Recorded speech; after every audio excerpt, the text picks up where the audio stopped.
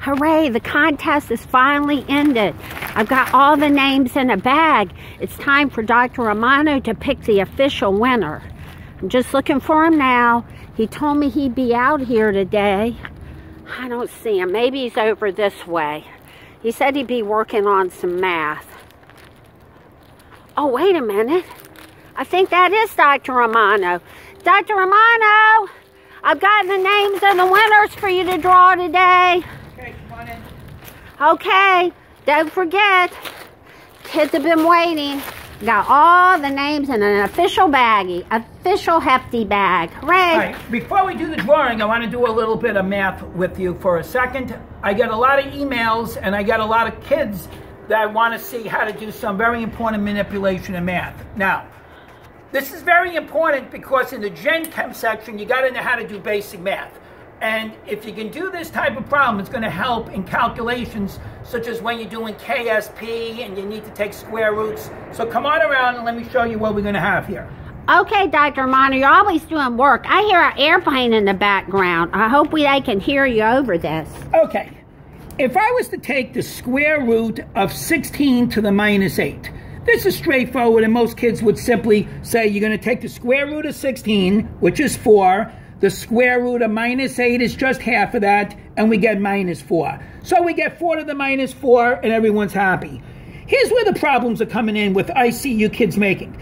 If I said the square root of 1.5 to the minus 13th, as you can see, this is an odd number. So we have a little problem. So the trick is rewrite it in scientific notation, of course. But what you're going to do is a little trick. Move this up by 10 and move this down by 10. So this becomes 15, and if you move this down by 10 to the minus 14th, square root of 15 is approximately the square root of 16, which is 4. Half of minus 14, you got a nice even number, is to the minus 7. You get 4 to the minus 7. Let's got it, Dr. Romano. Wow. I if I it. if I did the square root of 3.5 to the minus 11th, again you have an odd number. I'm going to move this up by 10 move this down by 10. Down from negative 11 is negative 12. 3.5 is approximately 35 when you moved it up by 10, which is around 36. So I'll put it approximately. Square root of 36 to the minus 12th. Square root of 36 is 6 to the minus 12th is 6th, and boom. Let's do one more. Boom's right. I'm following you. What if I did the square root of 0.4 to the 5th? The minute you see it's an odd number, we're going to rewrite this, move this up by 10, move this down by 10. So it okay. becomes 4 when you, when you went up by 10. When you went down to the fourth power, square root of 4 is 2, square root of 10 to the fourth is 10 to the second. I hope that gives you a good idea on how I go about doing problems such as this. I think they're very important. You make sure you can do square roots, especially for the Gen Chem section. Gosh, Dr. Romano, thank you. If I know how to do that, I bet I'll get a 30 in the Gen Chem. There's a lot more to know in general chemistry than a simple maneuver like this, but you're on your way. All right, let's get this. I'm this. glad I'm on my Going. way. Are we doing the contest now? Let's get to it. Let me shake it up, Dr. Romano. We got to make this fair. Okay.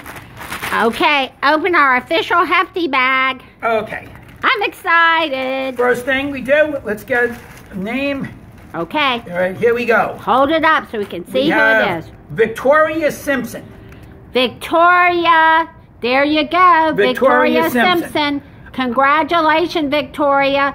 I'll be sending you the 2018 DAT and 2018 Math Destroyer. I'm going to do one more name.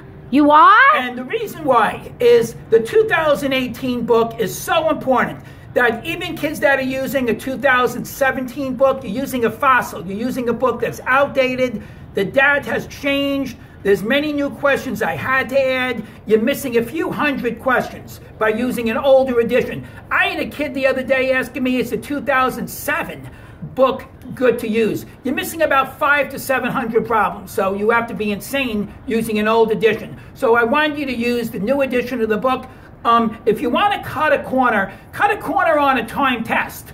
Um, don't cut a corner on the Destroyer book. Use the current edition. You'll be sure to ace this exam, and you got me on Facebook to do questions. Let's do one more question. And. Dr. Romano, remembered the math changed completely 2018. The math has been redone in the Destroyer. Okay, here we go. Ready? Okay, Dr. Romano, drum roll.